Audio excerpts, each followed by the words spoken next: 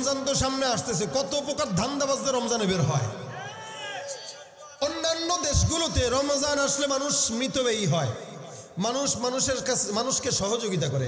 বাংলাদেশ এমন একটা দেশ, রমজান আসলে ব্যবসায়ীরা আরও ধান্দাবাজ হয়। এবার রমজান আসলে বেগুনির দাম বাড়ায় দিবে বিশ টাকা।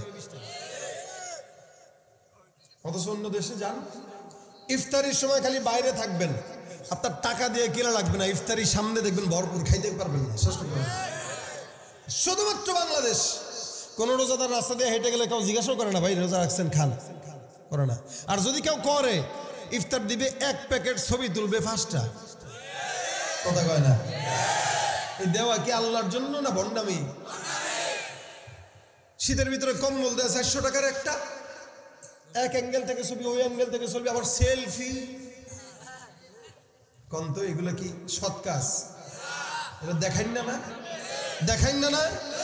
তুই দিবি তার এমন ভাবে এক হাতে দিবি আর এক হাত জানবে না, ঠিক কিনা জানো দান করে দুইশো টাকা, ছবি তুলে এক হাজার টাকা। এটা দান না, এটা দান নামে ভন নামে, ঠিক কিনা বলে? আমাদের দেশের এই ব্যবসায়ীগুলোর কাজ হলো নেক কাজ কাকে বলে দেখেন? আমি গত বছর হজে গেছি ওমরার সফরে তো রমজান মাস ছিল। তো রমজান মাসে গেছি, আমরা কয়েকজন বন্ধু মিলে মদিনায়। খাইবারের দুর্গ দেখতে গেছি। চার পাঁচজন। আসতেছি, আস্তে আস্তে আস্তে আস্তে হঠাৎ করে ইফতারের মুহূর্ত চলে আসছে। তো একটা পাকালা পাই না, কোনো দোকান টোকান নাই, কিচ্ছু নেই। হুটুট করে তাকায় দেখি একটা মরুভূমির মাঝখানে ছোট্ট একটা দোকান, মুদির দোকান বাকালা যেটা সৌদিতে বলে। আর পাশে একটা মসজিদ আছে। তো দাঁড়ায় গেলাম ওখানে, পাঁচ মিনিট বাকি। আমরা ওই দোকানে ঢুকলাম, ঢুকার পরে বললাম ভাই, আমাদেরকে কিছু ইফতারি দেন। তো ইফতারি কিন- কেনার পরে ওই লোক, আমরা বিশ রিয়াল কিনলাম, সে আবার বাড়তি বিশ রিয়ালের আমাদেরকে গিফট করবে গিফট হাদিয়া হাদিয়া। তার মানে কাটায় কাটার সমান। মানে আমরা এটা ফ্রি নিছি। তারা আমরা বিশ রিয়াল দিছি, সে আমাদেরকে বিশ রিয়াল দিয়ে শেষ। এটা হইলেও কথা ছিল। আমরা বসছি, উনি করল কি দোকানটা বন্ধ করতে যেয়েও দোকানের শাটারটা আবার খুলে দিল। কি মনে করে? খুলে দিয়ে যাওয়ার আগে আরবিতে আমাদেরকে বলল যে, আপনারা এই জায়গায় থাকেন, দোকানটা খুলে দিয়ে গেলাম। যা মন চায় এখান থেকে নিয়ে খাবেন, কারণ আপনারা আল্লাহর মেহমান, আপনারা রোজাদার। দোকানের শাটার খুলে দিয়ে গেছে। বড় দোকান। সৌদির দোকান কিন্তু ভাই আমাদের বাংলাদেশের টুকুর টুকুর না। ওখানে দোকানও এই মনে করে, এক একটা দোকান এসে অর্ধেক। তো এই এত বড় দোকান খুলে দিয়ে চলে গেছে। আমরা বলা বলি করতেছিলাম মার্শাল্লাহ কত ভালো মানুষ হইলে মন, কত পবিত্র হইলে পরে। দোকান ছাটার খুলে দিয়ে চলে যেতেছে। বাংলাদেশে যদি এমনি দেওয়া হয়, নিজের মনে করে, মা মনে করে, আব্বা মনে করে নেবে এটা তো আমার আব্বা দিয়ে গেছে এই জন্যই তো দেয় না। অথচ আমাদেরকে দিয়ে গেছে। পরে আসার পর আমরা বললাম, আপনার বাড়ি কই? কে, সিরিয়া। সিরিয়ার লোকরা আসলে ভালো। এমনিও না, শুধু আরবের লোকেরা। মেহমানদারিতে এক নম্বর। মেহমানদারিতে। আপনি বাইরের দেশে যান, রমজান আসলে আপনার ইফতার সাহেরের কোনো পেরেশানি নেই। বাংলাদেশে শুধুমাত্র রমজান আসলে গরিবরা একটু শরবত খাবে, আর যে নেকি করে, সে এই নিয়তেই করে যে সে নেকির পরে জান্নাতে যাবে। অর্থাৎ আপনাদেরকে যদি প্রশ্ন করা হয়, বলেন আপনারা কোথায় যাবেন? আপনারা সবাই এক আওয়াজে বলবেন জান্নাত। বলবেন কিনা এটা আমাদের মনের ইচ্ছা তো। আপনাদেরও মনের ইচ্ছা, আমারও মনের ইচ্ছা। যাব কোথায়? জান্নাতে। সবার মনের ইচ্ছা, দুনিয়াতে প্রত্যেকটা মানুষ জান্নাত চায়। এই মাহফিলও আপনারা করছেন, আলোচনা আয়োজন করেছেন জান্নাতের উসিলা যে এটা করব। কিছু মানুষ নেকের কাজ করবে, নামাজ পড়বে, তো এই উসিলা আল্লাহ যদি জান্নাত দেয় উসিলা কিন্তু এটাই, উদ্দেশ্য এটাই যে একটা উসিলায় নিয়ে আল্লাহ পাক জান্নাত দান করে। এটা উদ্দেশ্য। এটা আমাদের মাকসাদ। কিন্তু আল্লাহ পাক রব্বুল আলমিনের জান্নাত পাওয়ার জন্য আল্লাহ পাক খুব বেশি আমলের কথা বলেন নাই। দুইটা কাজের কথা বলেছেন, আমি যে আয়াত থেকে তেলাবাদ করেছি। আয়াতে আল্লাহ পাক দুইটা আমলের কথা বললেন। এক নম্বর, আল্লাহ পাক বলেন, প্রত্যেকটা ইমানদার যদি ইমানদার হয়, যারা জান্নাত পেতে চায়, এক নম্বরে, ইন্নাল্লাযীনা আমানু, ঈমান আনবে। দুই নম্বর ওয়ামিলুস সলিহাত, নেক কাজ করবে। কাজ হলো দুইটা। একটা নেকির কাজ, আরেকটা ইমান প্রথমে ইমান দ্বিতীয়তে নেক কাজ। এখানে আলহামদুলিল্লাহ আমরা যারা আছি সবাই ইমানদার আপনারা কি ইমানদার না? তা বলেন না কেন, আমরা কি? যে আমি আপনাদের সাথে মোজাকারা করতেছি। সুতরাং খেয়াল করে যেমন শুনবেন, শোনার পাশাপাশি আমার সাথে হা হু করবেন, আওয়াজ দিবেন। এতে আপনারাও বুঝবেন, আমিও মনে করব যে আপনারা আমার কথা বুঝতে পারছেন। আওয়াজটা অল্প দিলে হবে না, জোরে দিতে হবে। হাজি আছেন জোরে বলেন। ইনশাআল্লাহ। আরও জোরে বলেন, ইনশাআল্লাহ। আমার বিশ্বাস, এখানে যুবকরা মাহফিল করেছে এবং যুবকরাই বেশি। তা আপনাদের স্বতঃস্ফূর্ত আওয়াজ আমার জবান থেকে অনেক কিছু বের করতে সাহায্য করবে। আর আপনারা চুপচাপ থাকবেন, তো আমি চুপচাপ কথা বলে চলে যাব। আর যদি কথাবার্তা আপনারা আওয়াজটা আওয়াজ দেন তো ইনশাল্লাহ আপনাদেরকে আওয়াজও শোনাবো, গজলও শোনাবো। আওয়াজটা শেষ পর্যন্ত থাকবে? এতক্ষণে আওয়াজ হয়েছে। এক নম্বরে ইমান দুই নম্বরে বলে না? জোরে বলেন। এই দুইটা কথা আল্লাহ পাক রব্বুল আলমিন বলেন। কেউ যদি এই দুইটা কাজ করে, তো আল্লাহ পাক রব্বুল আলমিন তাকে জান্নাতুল ফিরদাউস দান করবেন জান্নাতুল ফিরদাউস দান করবেন আল্লাহ। এটা আল্লাহ পাকের ওয়াদা। বলেন তো আল্লাহর ওয়াদা কি সত্য না মিথ্যা?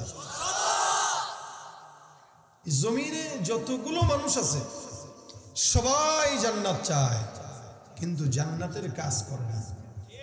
যদিও আমরা নিজেরা ইমানদার নিজেদেরকে দাবি করেছি কিন্তু অধিকাংশ ইমানদারের হালত বড়ই খারাপ। অধিকাংশ ইমানদারের হালত বড়ই বদ্দিনী। শুধু মুখে মুখে আমাদের ইমান অন্তরে নাই।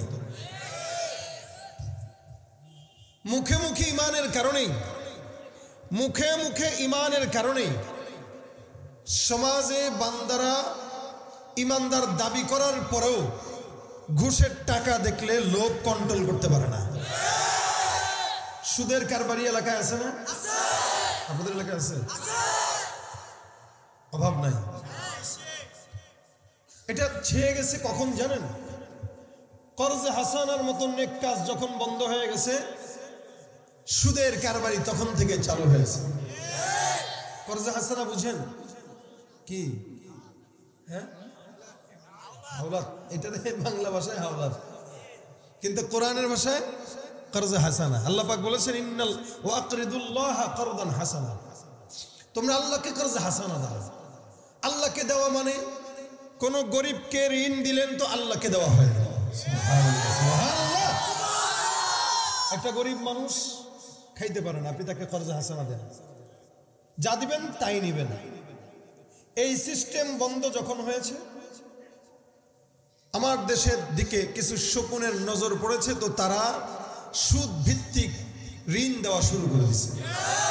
এরাও জানে, মুসলমানের পেটে যদি সুদ যায়, তো ইবাদত কবুল হবে না। এটা এরাও জানে।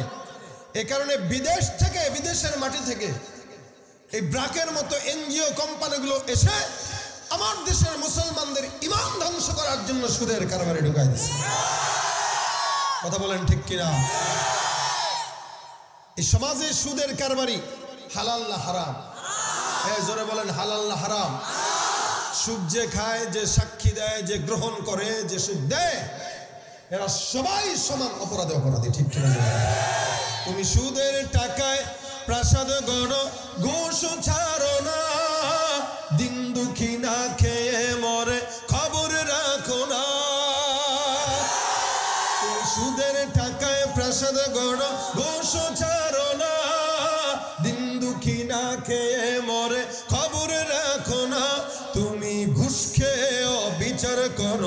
সাজিয়া প্রধান, তুমি ঘুষ খেয়ে বিচার করো। সাজিয়া প্রধান, তুমি কেমন মুসলমান, তুমি কেমন মুসলমান, তুমি নামাজের সাথে নাই পরিচয়, মানো না কোরআন। নামাজের সাথে নাই পরিচয়, মানো না কোরআন। তুমি কেমন মুসলমান, তুমি ঠিক কিনা জোরে কম নবীর উম্মত দাবি করো, সুন্না মানো না। নবীর অপমানে তোমার হৃদয় কাঁদে না। নবুয়ত দাবি করো শূন্য মানো না। নবীর অপমানে তোমার হৃদয় কাঁদে না। তুমি বিজাতীয় সংস্কৃতিতে সোপেছ পরাণ। তুমি বিজাতীয় সংস্কৃতিতে সোপেছ পরাণ। তুমি কেমন মুসলমান? তুমি কেমন মুসলমান? তুমি কেমন মুসলমান? তুমি কেমন মুসলমান? নামাজের সাথে নাই পরিচয় মানো না কোরআন। নামাজের সাথে নাই পরিচয় মানো না কোরআন। তুমি কেমন মুসলমান? কেমন মুসলমান? ঠিক কিনা? ইমানদার দাবি করে, কিন্তু নামাজ নাই, রোজা নাই, সুদ খায়, ঘুষ খায়। আসলে ইমানদার না ভণ্ড? সবাই নিজেকে মুমিন বলে, কিন্তু আল্লাহ তো এদেরকে মুমিন বলে না। আল্লাহ বলেন আমান্না বিল্লাহি অবিল ইয়াউমিল আখিরি ওয়া মা মানুষের মধ্য থেকে একদল এমন বান্দা যারা নিজেরা নিজেদেরকে মুমিন বলে। আল্লাহ আলামিন বলে এই সমস্ত ইমানদার যারা নিজেদেরকে মুমিন দাবি করে, আমি আল্লাহ পাক ঘোষণা করলাম, এরা দাবি করতে পারে লেকিন কোনোদিন মুমিন হতে পারে না। কারণ ইমানদার যে নিজেকে দাবি করবে, তিনটা জিনিসের সমন্বয়কে বলা হয় মুমিন। ইমানদার যে অন্তর দিয়া বিশ্বাস করবে আল্লাহ একজন, এই জমিনের মধ্যে আমরাও নিজেরাও আল্লাহকে বিশ্বাস করি, অন্তর দিয়া নাকি জবান দিয়া? আমরাও বিশ্বাস করি, আসমান বানাইছেন কে? জমিন বানাইলন কে? পাহাড় বানাইল কে? এই সমস্ত কথাগুলো ইহুদিন ছাড়াও বিশ্বাস করে। আল্লাহ পাক ডাক দিয়া বলেন মান খালাকাস সামাওয়াতি ওয়াল আরদা লা ইয়াকুলুন্না আল্লাহ ইহুদিরা নাসারা মুশরিকদেরকে যদি প্রশ্ন করা হয় বলো তো আসমানটা বানাইলো কে?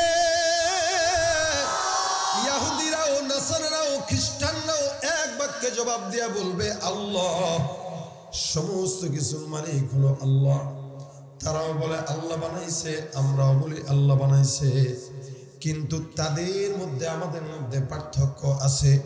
তারা আল্লাহকেও মানে আবার আল্লাহর সঙ্গে আরেকজন কেউ মানে। তারা আল্লাহকেও মানে আবার সূর্যেরও পূজা করে।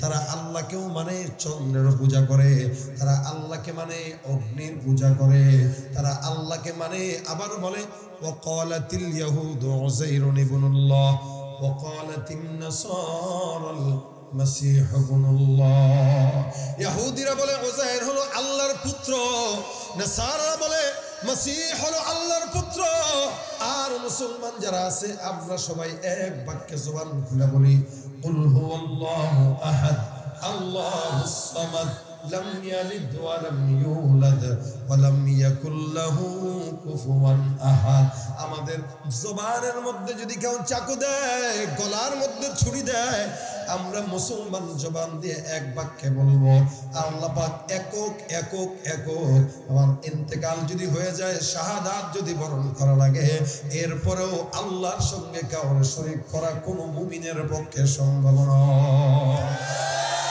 এটাই হলো ইমানদারের এক নম্বর গুণ। ইমানদার আল্লাহকে দিল থেকে বিশ্বাস করবে, এটার নাম ইমান আল্লাহ পাক রব্বুল বান্দা, জমিনের মধ্যে দুই নাম্বার শর্ত কি? এটা ইমান আনবে, আল্লাহকে বিশ্বাস করার পর বান্দা জবান দিয়ে স্বীকার করবে। আল্লাহ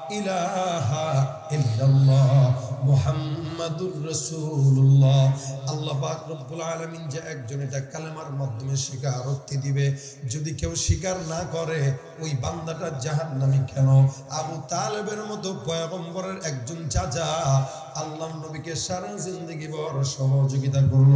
আবু তালেব পর্যন্ত নবী করিম সাল্লাল্লাহু স্বীকারোক্তি দেয় নাই। মরণের আগে আমার পয়গম্বর ডাক দিয়া বলেন, চাচা জবানটা খুলে একবারের জন্য বলে দেন না ইলাহা ইল্লাল্লাহ। আবু তালেব মোহাম্মদুর রসুল্লাহকে বিশ্বাস করে কিন্তু স্বীকার করে নাই। আবু তালেব বলে, মোহাম্মদ, সারা জিন্দগি তোমাকে আমি সহযোগিতা করলাম। আমি জানি তুমি সত্য পয়গম্বর, কিন্তু আমার এতেকালের পরে আমার অন্যান্য সন্তানরা গাদ্দার বলে গালি দিবে। আমি চাই না কারও কাছে গাদ্দার হই, যার কারণে তোমাকে বিশ্বাস করলেও জবান দিয়ে স্বীকার করতে পারব না। শুধুমাত্র স্বীকার না করার কারণে আবু তালেবের মতো লোক আল্লাহ পাক জাহান নামে চিরস্থায়ী দান করেছেন। নাউজুবিল্লাহ। কেন জাহান নাম বলে স্বীকার করে নাই? তিন নম্বর আমল বিল আরকান। জবান দিয়ে স্বীকার করার পর আল্লাহ পাকের যতগুলো আদেশ, সব আদেশগুলো পুঙ্খানু মানা আল্লাহ পাক যেগুলো নিষেধ করেছেন, ওগুলো থেকে নিজেকে হেফাজত রাখা। অর্থাৎ আমাদের দেশে দুই দুই প্রকার মুমিন আছে, যারা অন্তর দিয়ে বিশ্বাস করে আল্লাহ আছে, আবার জবান দিয়ে স্বীকার করে আল্লাহ পাকও আছে। কিন্তু আমলের বেলায় ঠন ঠন, যার কারণে এই প্রকার ইমানদারদেরকে দিয়া বাংলাদেশে ইসলাম কায়েম করার স্বপ্ন দেখাটাও বোকামি। নামাজ পড়ে না, রোজা রাখে না জাকাত দেয় না, হজ করে না, দান সৎকা করে না গানের কনসার্টে যায়, ঘুষ খায়, সুদ খায়, দুর্নীতি করে।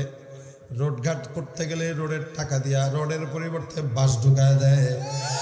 এই টাইপের মুসলমানরাও নিজেকে মুসলমান দাবি করে। যে লোক চুরি করে, দুর্নীতি করে, হারাম খায়, সুদ খায়, ঘুষ খায়, এই সোরের ঘরের সোরেও নিজেরে বলে, আমিও মুমিন। আল্লাহ বলে, ইমানদার দাবি করা সহজ, কিন্তু এটা মানা বড় কঠিন কাজ। ইমানদার কেউ দাবি করবে তো আমল করবে। আল্লাহ পাক যেটার আদেশ দিয়েছেন, এগুলো মানা, যেগুলো নিষেধ করেছেন, এগুলো থেকে বাঁচা। আল্লাহ পাক রব্বুল আলামিনের পুঙ্খানু আদেশগুলো মানার নাম হলো ঈমান। হে নবীর উম্মতের দল, এই যে সমাজে যতগুলো মানুষ আছে, এরা সবাই মুমিন তখন হবে যখন নিজেরা আল্লাহর সমস্ত বিধি নিষেধগুলো মানবে ঠিক কিনা। এটাকে বলা হয় ইমান আল্লাহ পাক বলেন, ইন্নাল্লাযীনা আমানু হে মুমিনের দল, যারা ঈমান আনবে, দুই নম্বরে সৎ কাজ করবে। সৎ কাজ, গুনাহ করা, এটা সৎ কাজ নয়। বান্দা সৎ কাজ মানে নামাজ আদায় করা, সৎ কাজ মানে সওয়াব করা, সৎ কাজ মানে জিকির করা, সৎ কাজ মানে কোরআন তেলাওয়াত করা। আল্লাহ পাক বলেন, কাজ করবা দুইটা যাবা কোথায়? বলে, জান্নাতুল ফিরদাউস। সুবহানাল্লাহ। এক নম্বরে ইমান আনবে, দুই নম্বরে সৎ কাজ করবে। ইমানদার তো শুধু মুখে মুখে নয়, অন্তরে অন্তরে। যদি মুসলমান, এখানে যারা অনেক বান্দারা আছেন, যারা চাকরি করেন, অনেক মানুষ আছেন, যারা রিক্সা চালান, ভ্যান চালান, কৃষি কাজ করেন, মনে রাখবেন, এলাকার মধ্যে এমপিও যদি থাকে, কোটিপতি এমপি, ওই কোটিপতি এমপি বিশাল দামি দামি গাড়িতে চড়ার পর আল্লাহ পাক রব্বুল আলামিনের কাছে তার কোনো দাম নাই, শুধুমাত্র ইমান না থাকার কারণে। আর একজন রিক্সাওয়ালা, কৃষক বান্দা, এই বান্দাটা গরিব হলেও চামড়াও কালো, কিন্তু ইমানের কারণে মালিকের কাছে কোটিপতি এমপির চাইতেও দাম বেশি। ইমানটা সবচাইতে বড় সম্পদ, এই কারণে ধন থাকুক বা না থাকুক সম্পদ থাকুক বা না থাকুক, ক্ষমতা থাকুক বা না থাকুক, ইমানের মতো দৌলত যদি থাকে, ওই বান্দার মতো ধনী বান্দা জমিনে আর কেউ নাই, ঠিক কিনা? নাই বা পেলাম পেলাম পেলাম দেখা হোক না আপন পথের ধুলোয় জীবন আমার, হোক ধূসর মলিন অনাহারে, অনাদরে ঝাঁকনা কেটে দিন। তবু দুঃখ আমার নাগাল কভু পাবে না হৃদয়। সব হারালেও তাও করি না নিঃস্ব হবার ভয়। আমি মুসলমান, আমার ধন হলো ইমান ইমানি নূরের রৌশনীতে দীপ্ত আমার প্রাণ। ইমানের মতো দৌলত আর কিছু আছে না কিছু বলেন? আমাদের দেশে অনেক ইমানদার, যারা নিজেরা মুমিন দাবি করে, কিন্তু আল্লাহ পাক বলে, এরা মুমিন না। কেন? এরা উঠতে বসতে এমন গুণা করে, যেগুলো করার কারণে ইমানের খাতায় নাম থাকে না। লজ্জা নাই, শরম নাই, নামাজ নাই, রোজা নাই, হজ নাই জাকাত নাই, ইমানদার দাবি করা। আল্লাহ পাক বলেন, মুমিন নয়, এরা মুনাফিক, এরা ভণ্ড, এরা বেঈমান। এই জন্য মুমিন যদি হতে হয়, যেই আদেশগুলো আল্লাহ পাক দিয়েছেন, সেগুলো পরিপূর্ণ মানা। সৎ কাজ করা, দুইটা কাজ করলে আল্লাহ পাক জান্নাতুল ফিরদাউসের ওয়াদা সত্য না মিথ্যা? এক নম্বরে ইমান দুই নম্বরে সৎ কাজ। নবী করিম সাল্লাল্লাহু আলাইহি সাল্লাম বলেন, সৎ কাজ যদি কোনো ইমানদার করে, এমন জামানে একজন লোক ছিল যে লোকটা আল্লাহ পাক রব্বুল আলামিনের পয়গম্বর হাদিস বর্ণনা করেন, লোকটা একদিন কোনো একটা রাস্তা দিয়ে হেঁটে যায় একটা কুকুরকে তাকায় দেখে কুকুরটা বারবার এই জায়গায় পানির পিপাসায় কাতরায়, জিব্বাটা বের করে করে পানির পিপাসার জন্য কুকুরটা কাতরায়। রসুল সাল্লাম ডাক দিয়া বলে, হে যুবক, তোমরা সাহাবাজ মাইনের দল ভালো করে শুনে নাও। একটা কুকুর, বলেন তো মানুষ নাকি কুকুর? একটা কুকুর পানির পিপাসায় রাস্তাঘাটের মধ্যে বসে বসে কাঁদতায় নবী করিম সাল্লাম বলেন, একজন যুবক সারা জিন্দগি কোনোদিন আমল করে নাই এবাদত করে নাই, লোকটা রাস্তা দিয়ে হেঁটে যায়, হঠাৎ করে তাকায় দেখে কুকুরটা পিপাসার্থ। বিছানার এখানে রোডের ঘাটের মধ্যে কাতরাইতেছে বেচারার দিলটার মধ্যে মায়া লেগে গেছে। একটা আল্লাহর সৃষ্টি, যদিও হোক কুকুর, এই কুকুরটাও পানির পিপাসায় কাতরায়। আল্লাহর বান্দা সুন্দর করে কুয়ার মধ্যে নামে। পায়ের থেকে মোজাটা খুলে ওখান থেকে পানি উঠায়া কুকুরটাকে পান করায় দেয়। আমার পয়গম্বর ডাক দিয়ে বলে সাহাবাজ মাইনের দল, যেই ছেলেটা সারা জিন্দগি কোনো আমল করে নাই, একটা কুকুর পানির পিপাসায় থাকার কারণে আল্লাহ নবী ডাক দিয়া বলে, এই লোকটা পানি থেকে কুয়ার থেকে পানি উঠাইয়া একটা কুকুরকে পানি পান করা দেয়।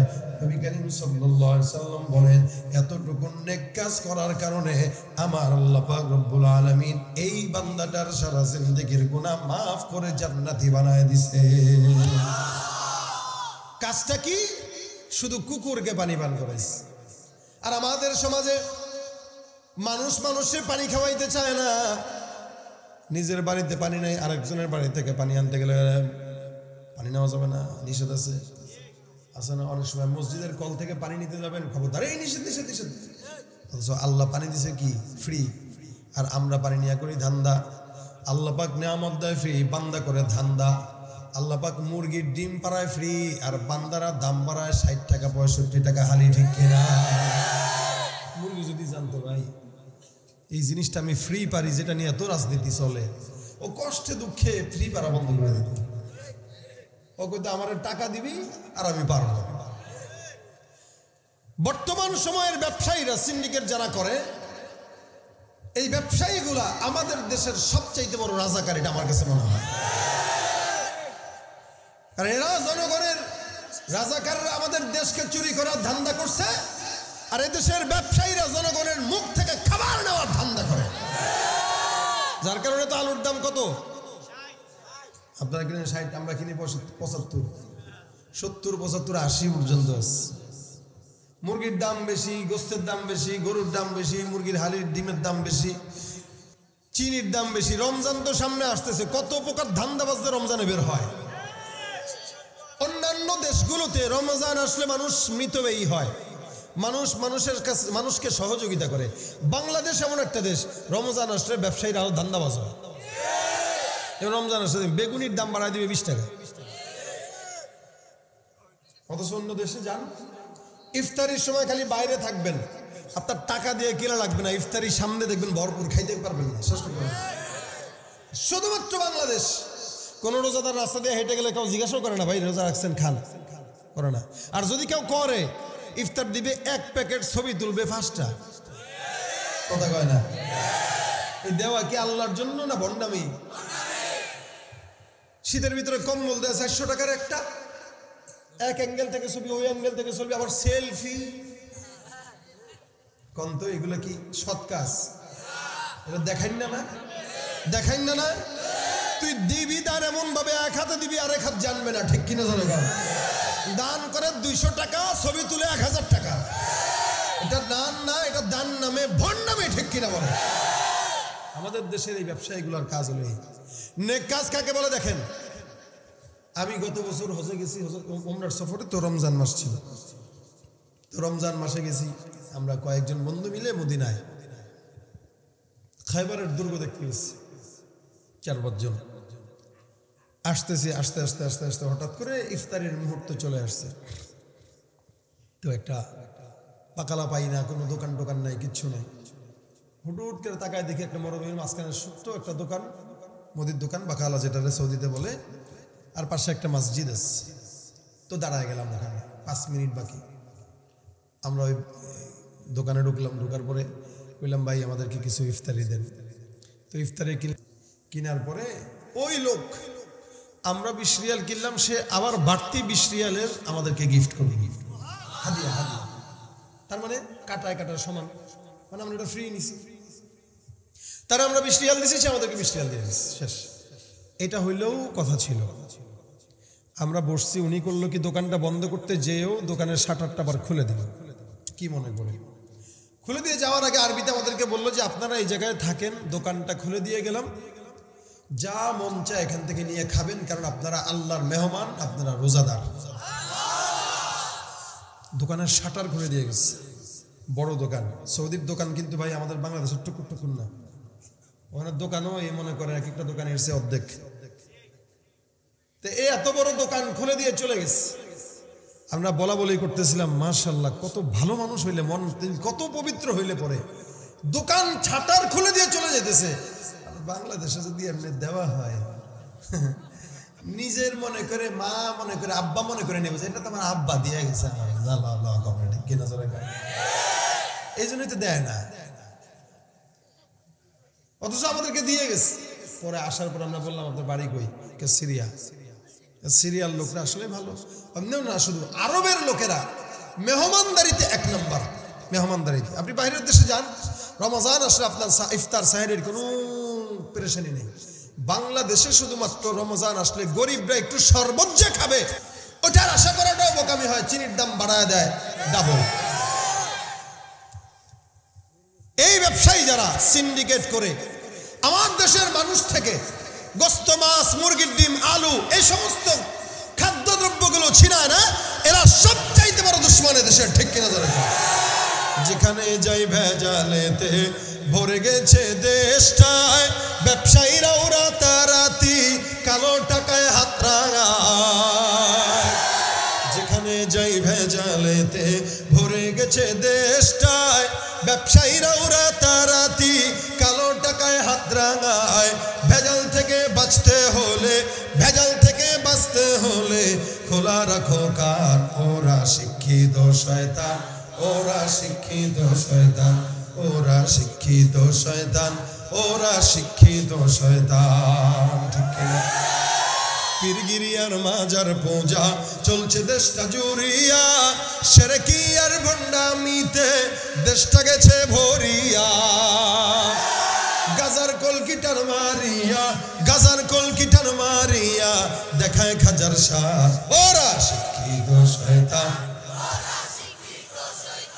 ওরা শিক্ষিত শয়তান, ওরা শিক্ষিত শয়তান। শিক্ষাঙ্গনের দিকে ভাইরে, দেখো না চোখ মেলিয়া, ছাত্ররা সব বই ছাড়িয়া থাকে শুধু প্রেম লইয়া।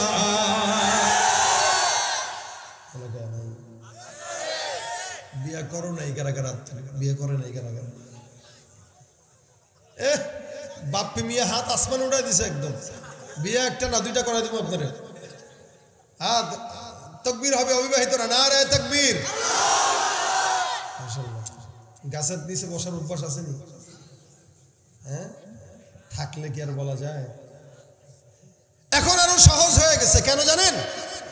পিরিত প্রেম প্রীতি সহজ করার জন্যই আমার দেশের কিছু কুচক্রী মহল তলে তলে কাজ করে যাচ্ছে। এজন্যই তো এখন বর্তমানে দেখা যায় পঁয়ষট্টি বছরের বুড়া দামরা আঠারো বছরের যুবতীর বিয়ে করে। আমার নাম দেয় সুগার ড্যাডি। সুগার ড্যাডি আবার স্বামী হয় কেমনে? মানে স্বামীর বয়স পঁয়ষট্টি, বেডির বয়স পনেরো। আমার আমরা ভালোবাসি। থাপ্পড় দিয়া। কত বড় বেহায়া হলে এই কাজগুলো করে, নিজের নাতনির সমান মেরে বিয়া করা। আর আপনারা কবেন যায় তো ভাই? আপনারা কবেন তো জায়েজ তো? জায়েজ তো অবশ্যই। জায়েজ তো অবশ্যই। মেয়ে, ছেলে তো বিয়ে করা জায়েজই। কিন্তু রুচির তো ব্যাপার আছে। কি বলেন? রুচির ব্যাপার আছে না? আমি কেমনে আমার মায়ের বয়সে একটা মেয়ের বিয়ে করি? কেমনে করি এটা বলেন? কীভাবে রুচি আমার যায়? ঠিক তেমনি একটা বুড়া, সে কীভাবে তার নাতনির বয়সে একটা মেয়ের বিয়ে করে? শোনেন হ্যাঁ পোলাপান না বুঝে আসে? তোরা কেন আসিস? এগুলো সব বুঝে আম করছে বেশি বুঝে এগুলো। এরা বিয়া করান, দেখবেন কালকে বাবু হয়ে গেছে। এক সময় ছিল, আমি আমার আমার বয়সটা বলি আমি আমি যখন ছোট ছিলাম, আমি তো যখন, আমার মনে হয় আমি সতেরো থেকে আঠারো বছর বয়সে আমি বুঝি যে এগুলো কিছু একটা মানে এগুলোও না মানে বিয়ে শাদী কিছু একটা। আর এখনকার পোলাপান বাপরে বাপ। বাপের চাইতে বেশি বুঝে এই জন্য তো দেখেন না, দশ বছরের ফোলা। এ পর্যন্ত প্রেম কি এটা বুঝে? অথচ বালাগি হয় নাই। আর শিখাইতেছে তো এগুলোই, শিখাচ্ছে তো এগুলোই। আগে এক সময় আমরা গল্পের বইয়ে গল্প পড়েছি, কবিতা পড়েছি, কি, কে, ওই শোনানো মোরে আজানের ধ্বনি।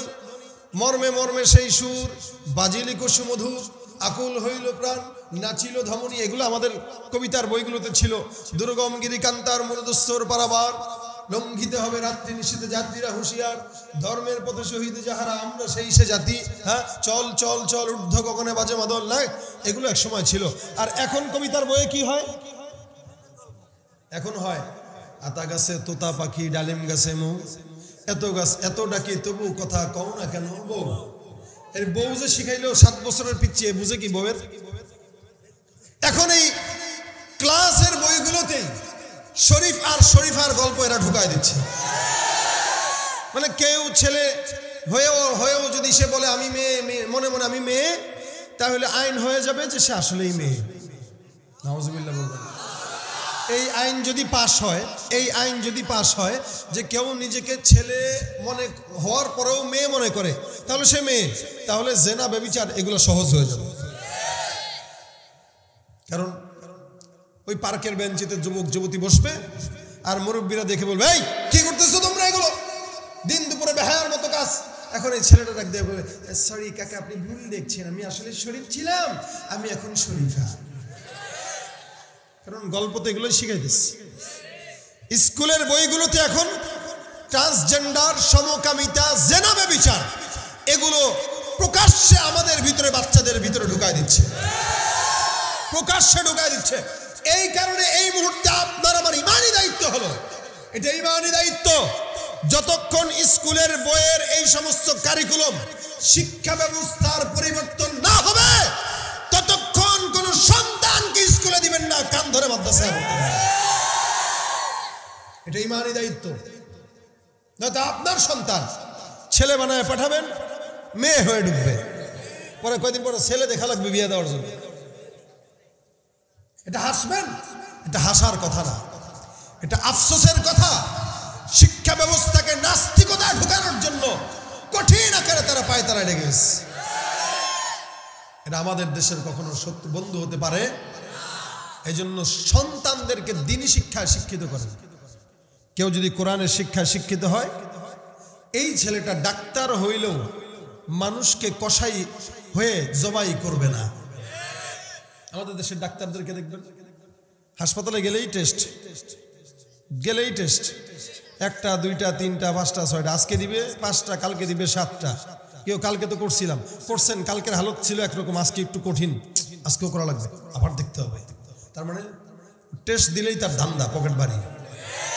ওর যদি ইমান থাকতো, ওর যদি কোরআনের সুন্নাত থাকতো, কোরআনের জ্ঞান থাকতো, নেক কাজ করার ইচ্ছা থাকতো, ও কোনোদিন ডাক্তার হওয়ার পরে কষাই হয়ে জবাই করতো না মানুষ ইঞ্জিনিয়ার হন, কোনো আপত্তি নাই, কিন্তু আগে কোরআনের শিক্ষায় শিক্ষিত হন।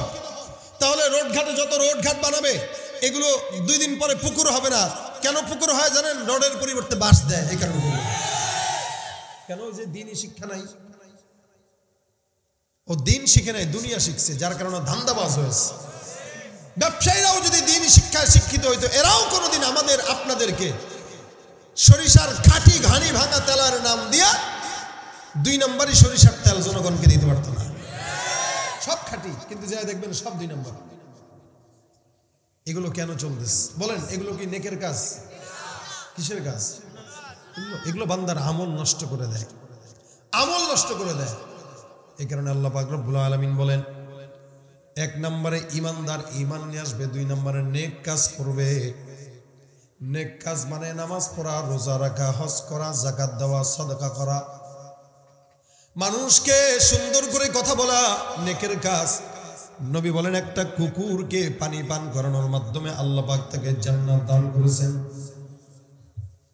কোন বান্দা যদি নেকের কাজ করে সাদকা করে, আল্লাহ পাক ওই বান্দার দায়িত্ব আল্লাহ নিজের কাছে নিয়ে নেন। নবী করিম সাল্লাম হাদিসের মধ্যে বর্ণনা করে বলেন, একবার একটা লোক কোনো একটা যুগের মধ্যে হাঁটতেছিল হঠাৎ করে। এমন একটা সময় হাঁটে যেই সময়টা সমাজের মধ্যে খরা, বৃষ্টি নাই। আসমান থেকে বৃষ্টি হয় না, সমাজের মধ্যে খরা লেগে গেছে। এলাকার মানুষগুলা ফসলও ফলাইতে পারে না। আল্লাহর বান্দাটা হঠাৎ করে হাঁটে, তাকায় দেখে একটা কালো মেঘ দলা হয়ে জমা হয়ে আস ওই মেঘের থেকে আওয়াজ, মেঘটা অমুক একটা বান্দার নাম নিয়ে ঘোষণা করে বলতেছে, যাও যাও। অমুক এলাকায় অমুকের বাসার মধ্যে তোমরা একটু পানি দিয়ে আসো ক্ষেতের মধ্যে পানি দিয়ে আসো আওয়াজটা কোন জায়গার থেকে আসলো জোরে বলেন তো? মেঘের থেকে নবী করিম বলেন, মেঘের থেকে যখন আওয়াজ আসলো, অমুকের বাগানে পানি দাও, বৃষ্টির মাধ্যমে পানি ছড়ায় দাও। এই লোকটা সুন্দর করে শুনলো, অবাক হয়ে গেল। মেঘের মধ্য থেকে আওয়াজ আসতেছে, অমুক এলাকায় পানি দেওয়ার জন্য অমুকের ক্ষেতের মধ্যে। আল্লাহ পাকের এই বান্দা মেঘের পিছু পিছু এবার হাঁটা শুরু করে দিল। কোথায় যায়? মেঘটা দেখি কোন জায়গায় যায়? মেঘটা বৃষ্টি দেয়। যেতে যেতে তাকায় দেখে একটা ক্ষেতের উপরে যায়। মেঘটা বৃষ্টি দেয়া ক্ষেতটাকে সিঞ্চিত করে দিল পানির মাধ্যমে। ওই ক্ষেতের মধ্যে একজন যুবক কোদাল দিয়া ক্ষেত চাষ করতেছে। এই লোকটা ডাক দিয়ে বলো ভাই, তোমার নাম কি? বলে, আমার নাম অমুক। আল্লাহর কসম, আসমানের মেঘের মধ্যে তোমার নাম আমি শুনলাম যে আল্লাহর মেঘ বলতেছে অমুকের বাসায়, অমুকের খেতে পানি দিয়ে কে বলতেছে বলে মেঘ বলতেছে? এমন কোন আমল তুমি করো যে আমলের কারণে আল্লাহ পাক রব্বুল আলামিন তোমাকে এই মেঘমালার মাধ্যমে আল্লাহ পাক তোমার ক্ষেতের মধ্যে পানি দান করে দিয়েছেন এমন কোন আমল করলা যে আমলের কারণে আল্লাহ পাক রব্বুল আলামিন তোমার ক্ষেতের মধ্যে পানি দিয়ে দিল। বলো ভাই। যুবক ডাক দিয়া বলতেছো ভাই, জমিনের মধ্যে আমার তেমন কোনো আমল নাই। কিন্তু যেই ক্ষেত দেখতেছো, এই ক্ষেতের যে যতগুলো ফসল হয়, এই সকল ফসলগুলোকে আমি তিন ভাগে ভাগ করি। এর মধ্যে এক ভাগটা আমি আল্লাহ রব্বুল আলমিনের সন্তুষ্টির জন্য, গরিব দুঃখী মিসকিনদের জন্য সৎকা করে দেই, সুবহানাল্লাহ। এই জায়গায় আমার আশেপাশে একটা মানুষ দান করে না। সবাই যার যার মতো ফসল নিজেই নিজেই খায়। কিন্তু আমি আমার ফসলটাকে তিন ভাগের এক ভাগটা আমি নিজের জন্য রাখি। আরেক ভাগটা আমি আমার আত্মীয় স্বজনদেরকে দেই। আরেক ভাগটা একদম মিসকিন, গরিব, ফকির যারা আছে, এদের জন্য দান করে দেই। সুতরাং আসমানের মালিক আমাকে এই জায়গায় বরকত দান করে। হতে পারে আমি জমিনের মানুষকে দান করার মাধ্যমে আল্লাহ পাক রব্বুল আলামিন আমার রিজিকের দায়িত্ব আল্লাহ নিজের কুদরতি হাতে নিয়ে নেয় নবী করিম সাল্লাল্লাহু আলাইহি বলেন, এই বান্দাটা ক্ষেতের ফসলের খাবারটা আরেকজনের কাছে বিলায় দেওয়ার মাধ্যমে আল্লাহ পাক রব্বুল আলামিন তাকে বরকত দান করে দেয়। এ নবীর উম্মত, এগুলা নেক কাজ, নেকের কাজ যদি কোনো বান্দা করে, আল্লাহ বলেন, কানাত লাহুম জান্নাতুল ফিরদাউস নুজুলা। এমন জান্নাত দান করবে যেই জান্নাতটা সব জান্নাতের মধ্যে সর্বশ্রেষ্ঠ জান্নাত, সুবহানাল্লাহ। এই জন্য নবী করিম বলেন, ডাক দিয়ে বান্দা, জান্নাত যদি চাও, সবচাইতে বড় জান্নাত জান্নাতুল ফিরদাউস চাও। জান্নাতুল ফিরদাউস আলা মাকামের জান্নাত। এটার উপরে কোনো জান্নাত নাই। আল্লাহু আকবার, আল্লাহ পাক রব্বুল আলামিন জান্নাতুল ফিরদাউসকে এত সম্মানিত করেছেন। বলে, জান্নাতুল ফেরদাউসে কোনো ইমানদার বান্দা যদি যায় বসে, উপরের দিকে যদি নজর দিয়া তাকায়, ওই বান্দা দেখবে কি? বলে, জান্নাতুল ফেরদাউসের উপরে স্বয়ং আল্লাহ পাকের আরশ মুবারক, সুবহানাল্লাহ। জান্নাতুল ফিরদাউসটা অনেক বিশাল বড় জান্নাত, যেখান থেকে নহর শুরু হয়ে গেছে। তাজরি মিন তাহতিহাল আনহার, যেই নহর বান্দার পাদদেশ দেয়া যায় আল্লাহর হাবিব বলেন, ওই নহরটা জান্নাতুল ফিরদাউস থেকে শুরু। আল্লাহর আরশের নিচে জান্নাতুল ফিরদাউস। এই কারণে ইমানদাররা যদি আল্লাহর কাছে চাও, তাহলে কোন জান্নাত বলে জান্নাতুল ফিরদাউস চাবা মনে রাখবেন, জান্নাতে গেলেও কিন্তু বান্দাদের আফসোস থাকবে। কি আফসোস? জমিনে কোনো বান্দা দশ হাজার টাকা দান করল, আপনি এক হাজার টাকা দান করার কারণে আল্লাহ পাক ওই বান্দাকে আপনার চাইতে উঁচু মাকাম দান করবে। যার কারণে এক হাজার টাকা দান করানোওয়ালা বান্দা বলবে, আল্লাহ তার মতো জান্নাত যদি পাইতাম, তাহলে কতই না ভালো হতো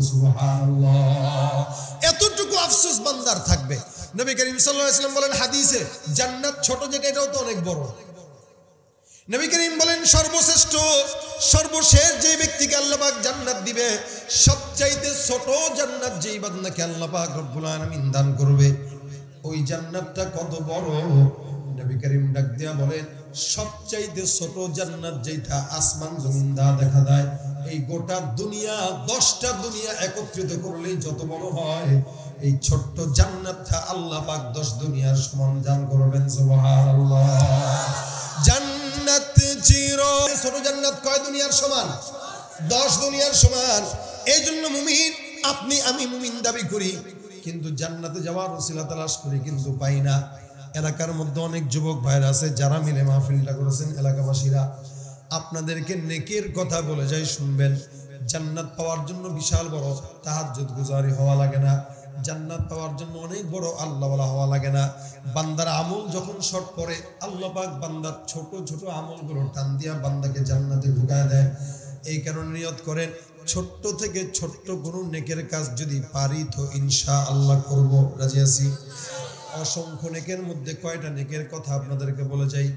এক নম্বরে, কোনো বান্দা যখন এই জমিনের মধ্যে থাকবেন, কোনো বান্দাকে দেখবেন, আপনি ভালো হাল হতে চলেন আর একজন বান্দা খারাপ হাল হতে আছে।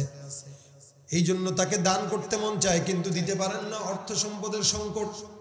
সুন্দর একটা সিস্টেম শিখায় দেই, ব্যাংক একটা কিনবেন, বিশ টাকা, ত্রিশ টাকা, পঞ্চাশ টাকা মাটির একটা ব্যাংক কিনা, লিখে রাখবেন আখেরাতের ব্যাংক। প্রতিদিন নিজের ইনকাম থেকে প্রথম ইনকামটা দশ টাকা হোক, বিশ টাকা হোক ব্যাংকের মধ্যে রাখবেন।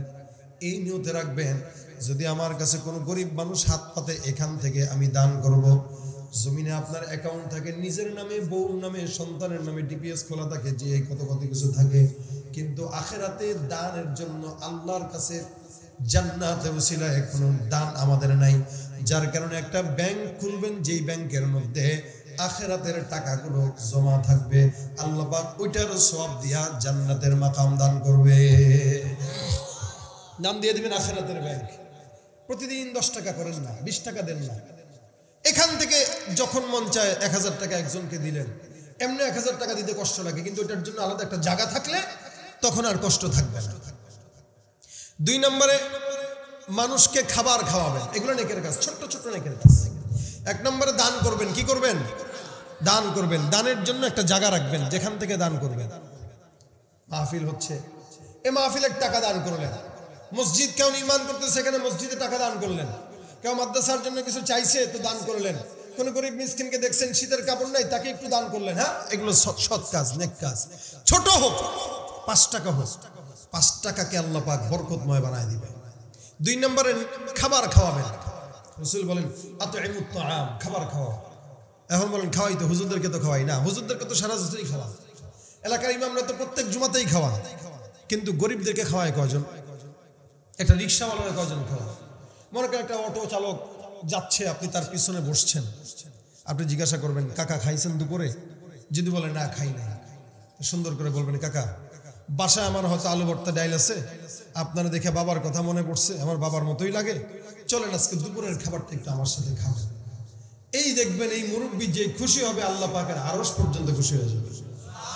কারণ বড় লোকদেরকে তেল মারার জন্য সবাই খাওয়ায়, গরিবদেরকে কেউ খাওয়ায় না।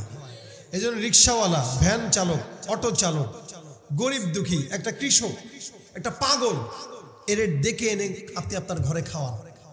এটা অনেক বড় স্বভাব ওই লোক বলতে বাধ্য হবে, বিবি, আজকে একটা মানুষ দেখছি, দুনিয়াতে মানুষ এখন বেঁচে আছে।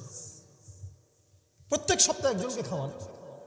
আপনি প্রতি সপ্তাহে যদি একজন গরিবকে আপনার ঘরে ডাক দেন, রসুল মেহমান ছাড়া কোনোদিন খাইতেন না। মেহমান যেই ঘরে থাকে, ওই ঘরে কোনোদিন চাউল শেষ হয় না। যে ঘরে মেহমান থাকে, যে ঘরে মেহমান থাকে। আপনি মেহমান আনবেন, আল্লাহ অন্য জায়গা দিয়ে বরকত দিবে। আমাদের দেশে তো কিছু কিছু বউরা আছে, মেহমান থাকলেই বাপরে বাপ, ফস করে উঠে।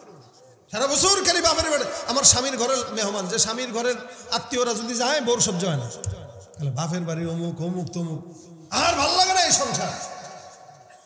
মনে রাখবেন, মা বোনেরা, আপনি রান্না করে খাওয়াবেন কোনো মানুষকে, আল্লাহ পাক আপনার হাতেও বরকত দিবে, আপনার ভারীতেও বরকত দিবে।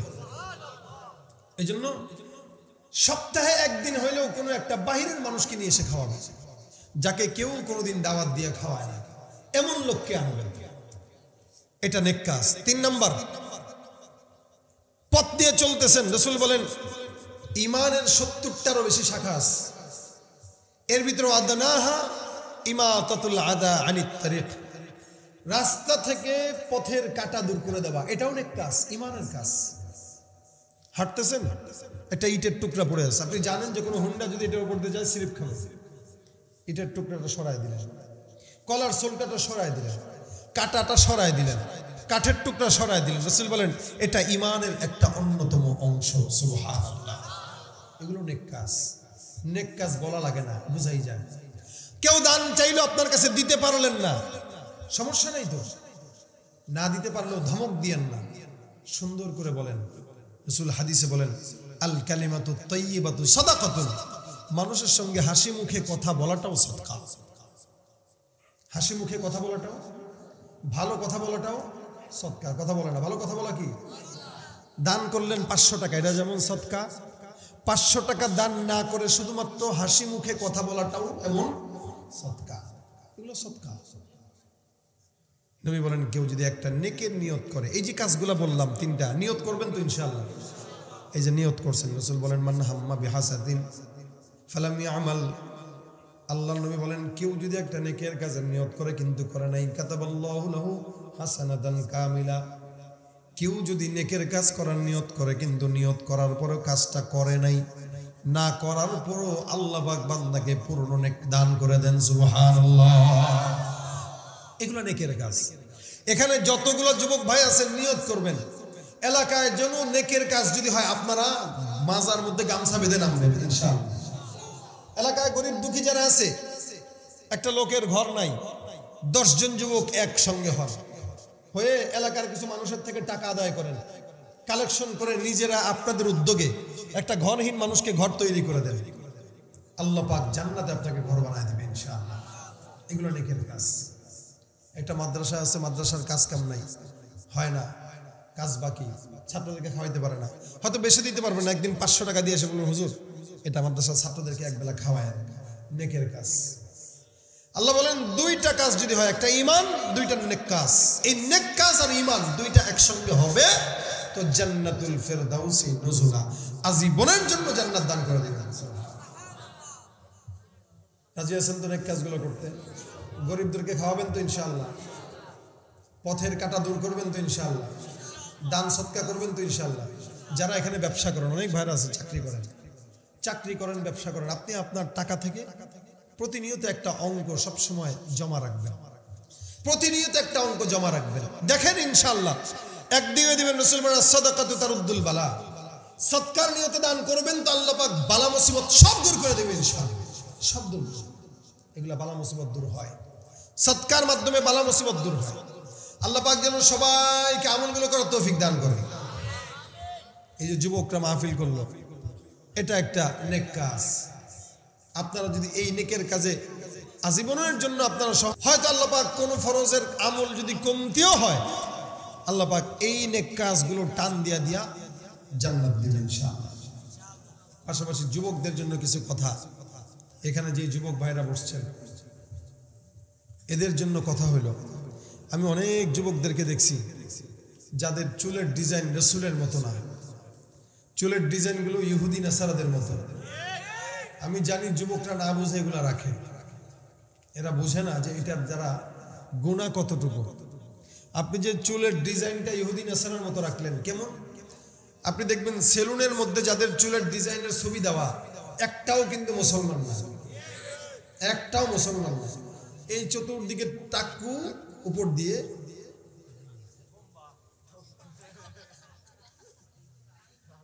ভাই দেখেন আচ্ছা বলেন তো যারা আওয়ামী লীগ করে, এরা কিন্তু বঙ্গবন্ধুর আদর্শকে ফলো করে। যারা বিএনপি করে, এরা শহীদ জিয়ার আদর্শকে ফলো করে। যারা জাতীয় পার্টি করে, এরা ওদের ওই যে এরশাদ চাচার আদর্শকে ফলো করে। ঠিক কেন? কারণ যে যে দল পছন্দ করে, সে সেই দলের নেতাকে ফলো করতে চায়। আপনি যদি ইসলাম পছন্দ করেন, অবশ্যই মোহাম্মদের আদর্শকে ফলো করবেন। কিন্তু আপনার চুল যদি হয় ইহুদির মতো, মেসির মতো, নেইমারের মতো, আল্লাহর কসম আপনি নেইমারের সাথে জাহান নামে যাবেন, রসুলের সঙ্গে জান্নাতে যাবেন না। বলেন, আপনাদের কি জান্নাত পাওয়ার ইচ্ছা আছে? আগেই বলছি, আছে, যান, পারবেন, যাবেন, যেতে চান, কিন্তু মানতে চান না। মানতে চান না। এটা হইল আফসোস। জান্নাতে নবীর সাথে যেতে চান কিন্তু আল্লাহ পাকের জান্নাতে যাওয়ার জন্য যেই কাজগুলো করেন না। এই জন্য প্রত্যেকটা যুবককে বলি, যাদের চুলের ডিজাইন ভিন্ন, সামনে থেকে চুলের ডিজাইন এমন রাখেন না, দয়া করে, আল্লাহর রাস্তায়। কারণ আপনার চুলের ডিজাইন যার মতো আল্লাহ রসুল আপনার কাছে, আপনার জন্য জিন্দগিতে সুপারিশ করবেন, আপনি তার সঙ্গে জাহান নামে যাবেন। নেইমারের মতো রাখবেন তো তার সাথে জাহান নামে যাবেন। মেসির মতো রাখবেন তো তার সাথে জাহান নামে যাবেন। আলহামদুলিল্লাহ মাহফিলের আয়োজন আপনারা করছেন, এটা ভালো কাজ। কিন্তু ভালো কাজের মাঝখানে মাহফিলের একটা সৌন্দর্য আছে না? মাহফিল করবে কে বলেন তো? মাহফিলের আয়োজনটা মূলত কে করার কথা? যে পাঁচ অক্ত নামাজ পড়ে, যার চুলের ডিজাইন রসুলের মতো, যার গায়ে রসুলের সুন্নাত, ওই না মাহফিলের আয়োজন করবে কেন? বলে আমার দিলের ভিতরে অনেক তামান্না যে মানুষ সব আমার মতো হয়ে যাক। সব নামাজি হয়ে যাক। সব আমার মতো চুলওয়ালা হোক, আমার মতো দাড়িওয়ালা হোক। আমি চাই এটা, এই কারণে আমি মাহফিল দিছি। যেন সব খারাপগুলো এসে ভালো হয়।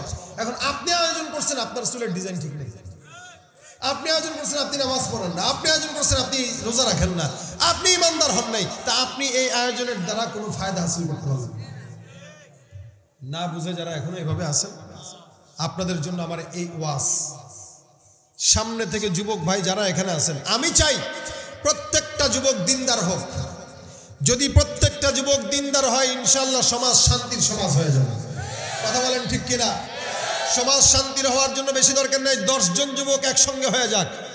দশজন যুবক যদি একসঙ্গে হয়, পাগড়ি মাথায় দেওয়া সুন্নতি টুপি মাথায় দিয়া যদি এলাকার ভিতরে নেমে যায়, এই এলাকায় কোনো গান বাজনা চলবে না, এই এলাকায় কোনো গুনাহের কাজ চলবে না, এই এলাকায় কোনো চান্দাবাজি চলবে না, সন্ত্রাসী চলবে না। দশজন যুবক এক হবে ইনশাল্লাহ এলাকা শান্তির এলাকা হতে এক মাসের সময় বাকি বেশি দিন লাগবে। এই জন্য যুবকরা রাজি আছেন তো ইনশাল্লাহ নেক কাজে। প্রত্যেকটা যুবক আপনারা থাকার চেষ্টা করবেন তো? কথা বলে না? করবেন? হাত তুলি, কারা কারা নেক কাজ করব ইনশাআল্লাহ। আল্লাহ, তুমি তৌফিক দান বলে না আমি